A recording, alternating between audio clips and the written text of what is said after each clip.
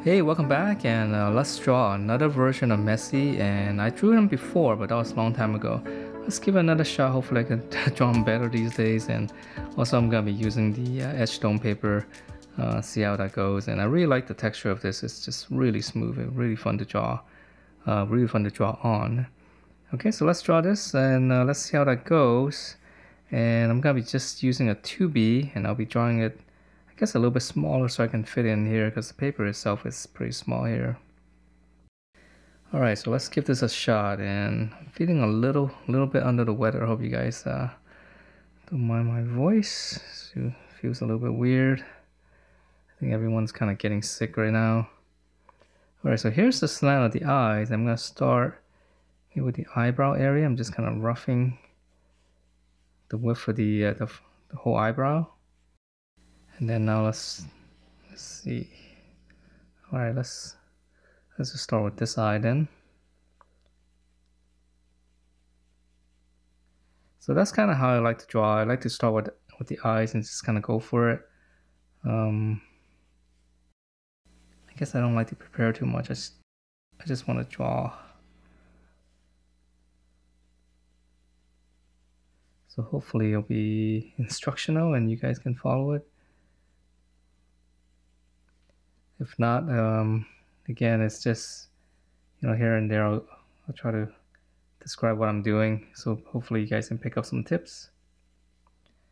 Alright so here's one eye and this one is pretty dark. Looks like it's got a pretty deep eyebrow right here. So this is gonna be pretty dark right here. And here's the eyebrow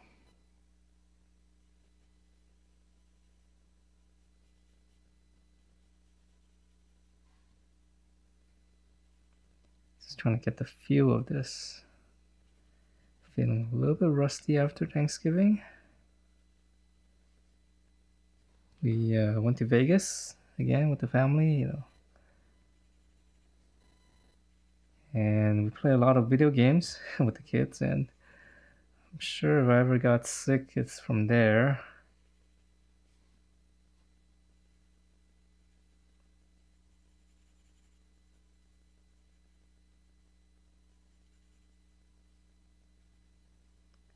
Bags underneath the eyes.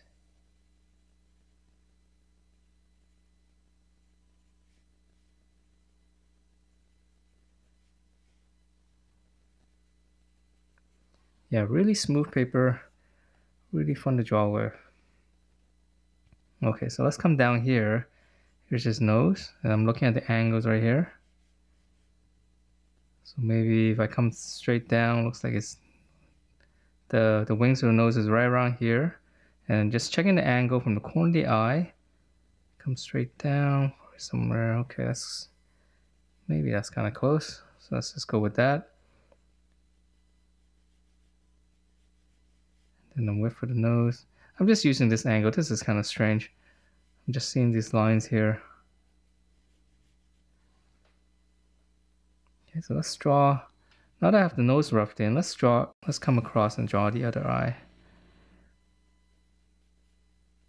So normally, you know, the the spacing is just one eye apart. So if I double this, or somewhere around here, I'm just looking at his eyes, and it looks, it looks doubling is probably correct. So when you look at the reference, just kind of measure, look, look at the the width of his eye and then the space in between and that way you can judge to see if you know that's correct. You know some people have it closer or slightly further apart.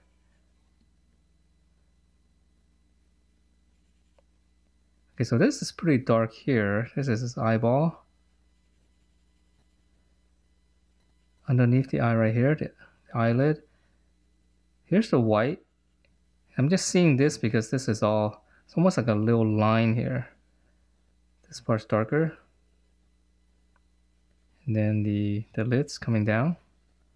So I'm just almost ignoring what I'm seeing. And I just see this black glob right here.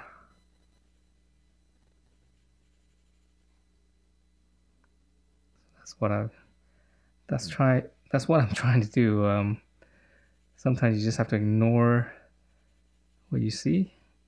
I know it's difficult and I I struggle with it. And you know, why do you want to ignore it? Because once you ignore it, then you kind of your eye begins to see slightly different. You know, you're starting to see the shapes as opposed to what you think you're seeing, you know, this eyeball. Okay, let's move on. So we got a very unique look. So this nose right here, here's the tip. The nostrils, let's see, I'm gonna, I can check it. Looks like his nose needs to be a little bit wider, straight down from the corner of the eye. Here, here.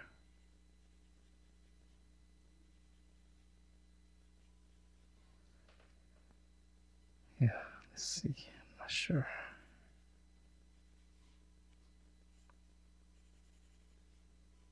Lots of lighting here. Um, stadium lighting, a side lighting here, side lighting on this side, and then the lighting up top.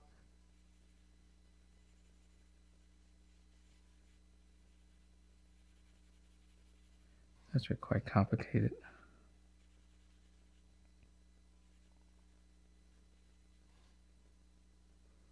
Okay, let's continue down then.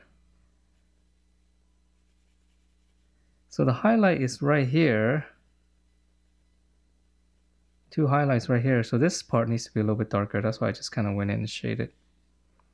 And then the bridge of the nose coming down. It's darker as well. Because he has a pretty tall nose. The nostril, nostril underneath, again, very It's almost like a little Y shape here. Then right underneath, the shadow part, this one's dark.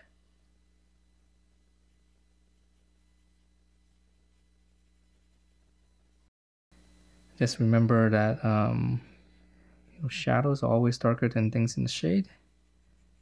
Okay, so let's draw his mustache. I'm gonna come down.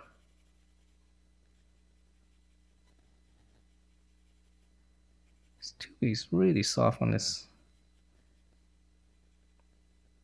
I've been mostly using the uh, HB, which works really well. I think I actually like the HB better, or the number two pencil. This feels almost a little too soft. Yes, so let's try his mouth.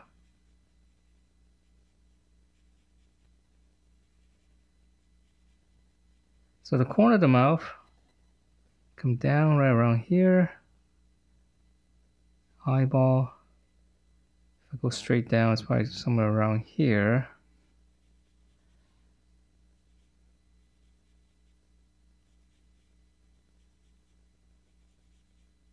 So I'm just drawing the opening right now. Teeth's in here. Actually, a lot of little things going on here.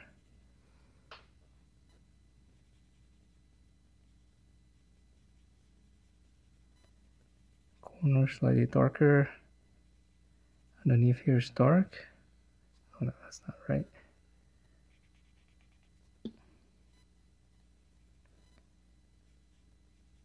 Lip should be a little bit lower. Very small.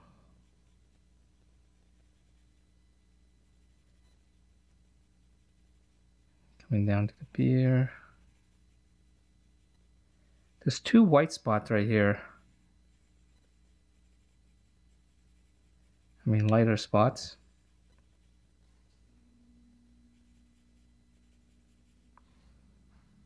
Okay, so before we come down any further, let's come back up here and, and concentrate more on this part and then we'll continue down because it looks okay, but I can't really tell. It looks like yeah, I think this eye slanted again.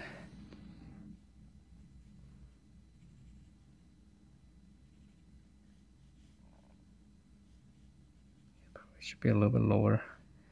Well, let's just go for it. Okay, up here. highlights right here. The side of the face here. The rim lighting.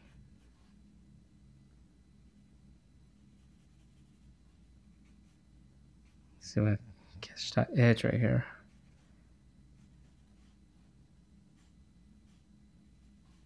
Mustache starts right around here.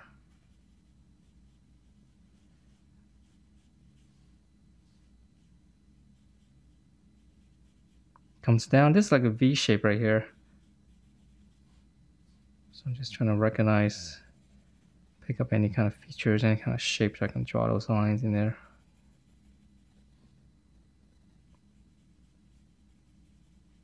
Slightly lower chin. Okay, let's see. It's forehead, let's draw that hairline. Let's see the hairline. Um, so the distance for the forehead, and I'm looking at it, it looks like if I double the, the, the height of the nose, if I double that, slightly higher. So that's how I judge the uh, how high is, how tall his forehead is.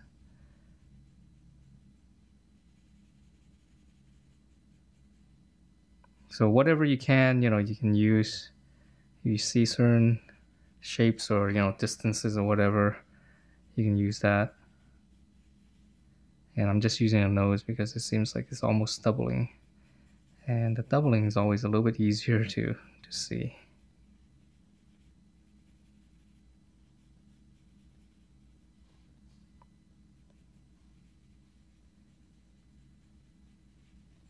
hair Let's see come down here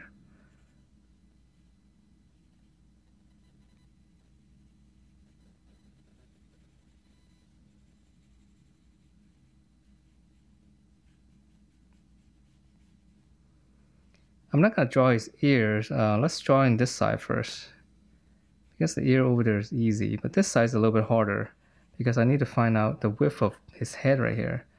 So how far, you know, the, the edge of the, the skull here, if I look at the spacing, it's almost doubling of this.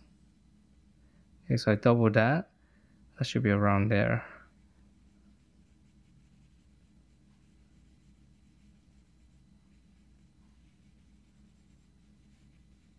And then his hair I'm just gonna draw these lines just to outline it for now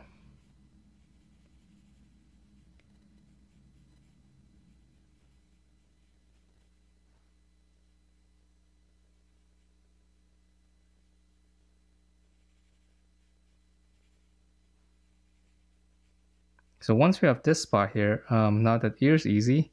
So the ear, if I if I draw a slant here, it starts right here, and from the nose, the bottom of the ear is right here. It's got a really big ears.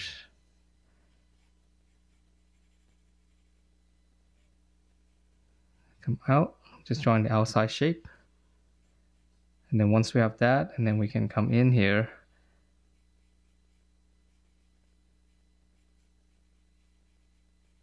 Here's the darkest part here.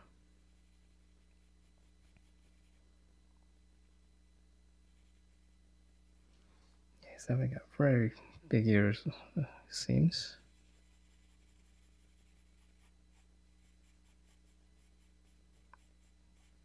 Then the rest, this is all facial hair. That should be a little bit, well, I guess it will be a little bit tedious to draw, but it should be kind of fun. Especially on this paper. Okay, so now that I draw on this side, Let's draw the other ear. So I come across from the eyes right around here. And then on the bottom, it's right around here if I come across. Okay, so now I have the, the top point and the bottom point. I can draw in the features real quick. Again, um, angular lines, just kind of block it in. And then we come in here and smooth it out.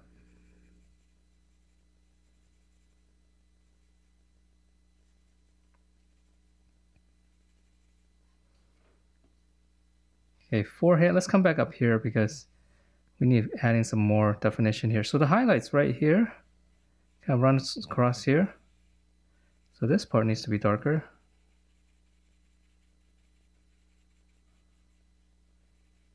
Bottom right here, slightly darker as well. And then another highlight right here.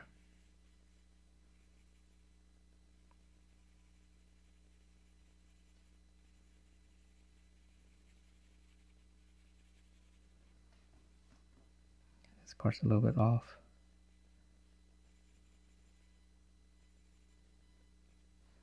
Okay, so how's that? So I'm trying to look at it from a different angle. Yeah, it looks like something is slanted. It looks like the eyes needs to be slanted down more.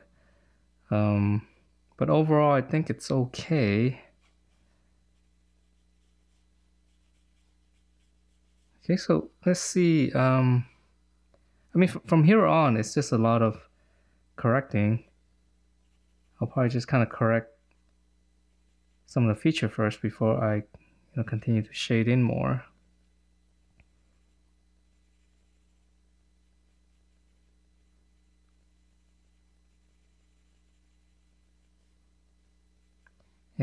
The direction of the strokes I'm using, uh, I'm just kind of going this way because it's, it's the most natural uh, motion, you know, for, for the wrist. And, you know, I can always come in here and cross hatch later, but I'm just more concerned about getting the values correct. So I'm not really paying too much attention to the direction of the lines right now. And the thing I realized that if you can shading correctly in terms of the value, the lines doesn't really matter as much. You know, when I was drawing before, I always thought that the line direction was very important um, to get the cross-hatching look or or what have you, you know, to get that feel so that things are not too directional. And then I kind of realized that as long as you shade it correctly, it's actually okay. Um, it's okay to have those directional lines.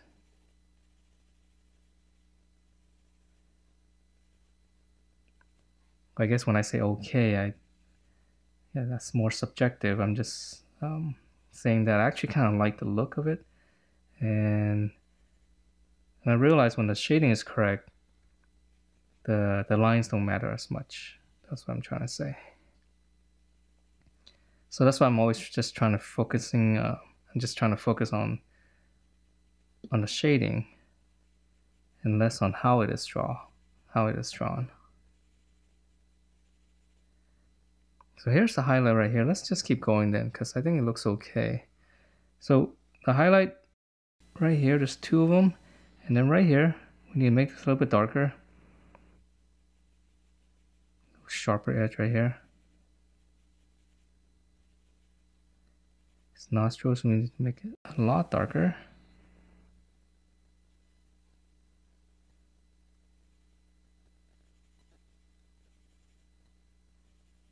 The crease.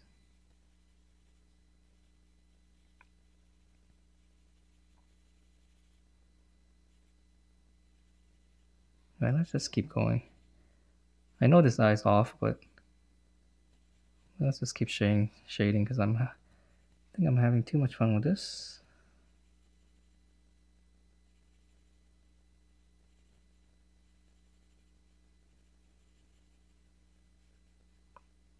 Another highlight right here.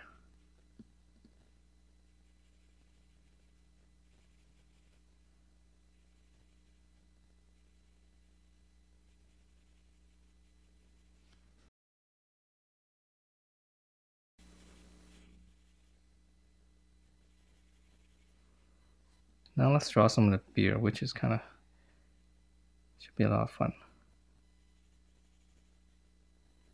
Because right now it's so light, and I know if I draw this, this mustache and everything, the rest of the face might look a little bit lighter now. Just by sheer contrast. Corner of the lip here.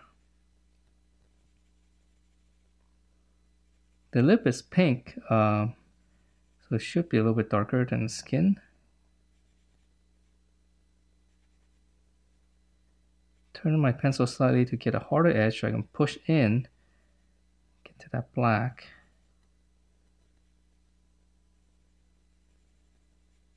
The teeth is not white here, so just keep that in mind. Again, just try to draw what you see and not what you think you see because we always want white teeth, but not when it's in the mouth.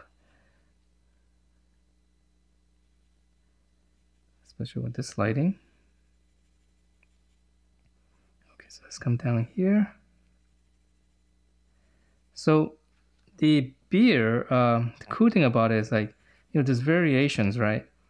So right here is a little bit uh, sharper and then kind of comes down here and this part's a little bit darker and then on this edge right here slightly darker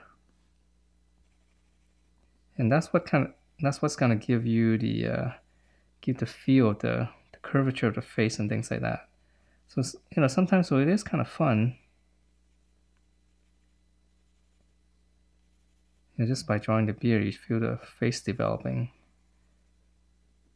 So all along the edge right here on the outside is a little bit darker.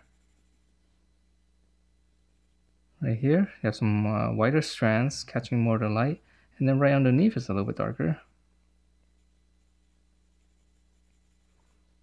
again those two white spots right here so this um, so all this right here should needs to be a little bit darker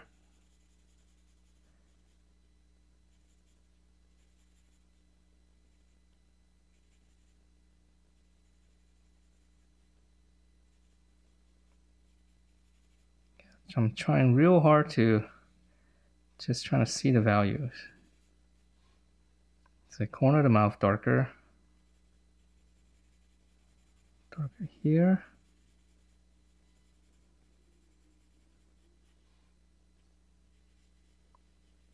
Just trying an outline so I know how far how far the beard and go. here here's highlight right here okay so now let's add in more detail down here so right here right on the bottom is very dark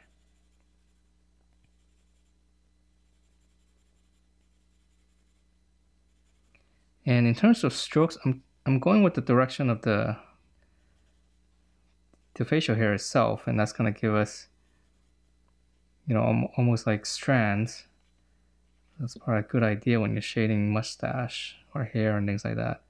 Just makes it a lot easier. That way you get the shade and the, the detail of the, the strands. And then, you know, it goes in kind of different directions as well. So once in a while, you can just kind of come in slightly different direction. It's almost like cross hatching now it looks like little clumps.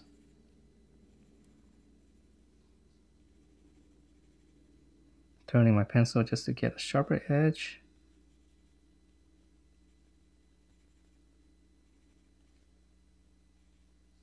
So sharper lines and they'll give like variation in terms of the facial hair.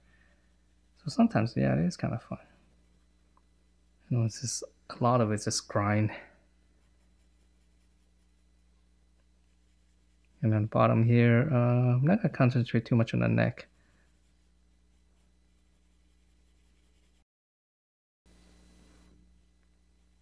The uh, neck part right here is, I'm just gonna use it more for like framing, you know, just to finish up the drawing and things like that.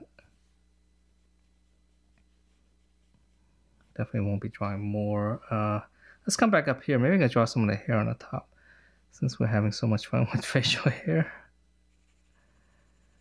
So again, I'm just trying to see this. let's develop the, uh, the overall outline here first so that I can feel more safe when I'm actually shading the hair. Okay. Got really cool hair right here.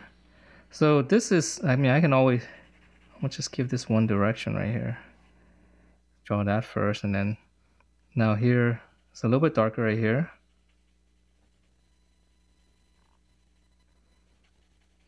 much darker here this is like one big clump right here then this goes in the different directions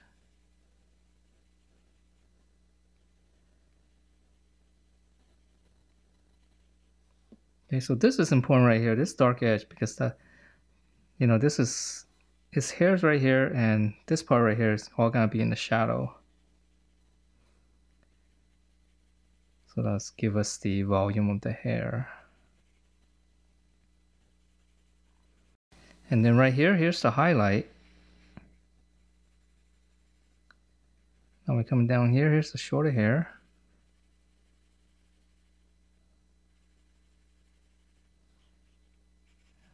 And then this one is going out, so that's why I changed, I'm changing directions.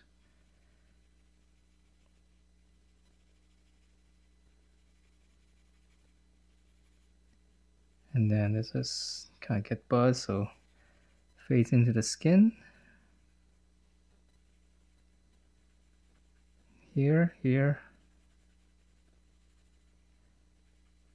Now we can add in a little detail right here. Not too much, but just try to add in those strands right there.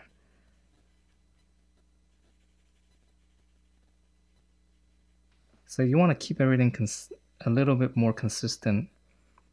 You don't want to add too much detail in any given area. Because it really, um, when you have a lot of detail, it tends to attract the eye more. So for those parts, you know, you kind of want to keep it to the, uh, the more important more important part of the face, which is the eyes. All right. So how does that look? Well, it looks, I don't know if it looks like him. I need to look, look it through um, with a fresh eye or see it in a mirror or something. But overall, yeah, it kind of looks like him. It kind of feels like got some of the expression, which is good. So let me continue this off camera. Um, it's just gonna be a lot of correcting. I think I did actually most of it on the camera, which is kind of good.